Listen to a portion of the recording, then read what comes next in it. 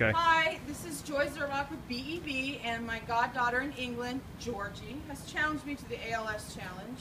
So I'm going to challenge her parents, Vanessa and Chris, for not supervising her better. And maybe someone in BEB, maybe Angel. There you go. Go ahead. Ready? Go.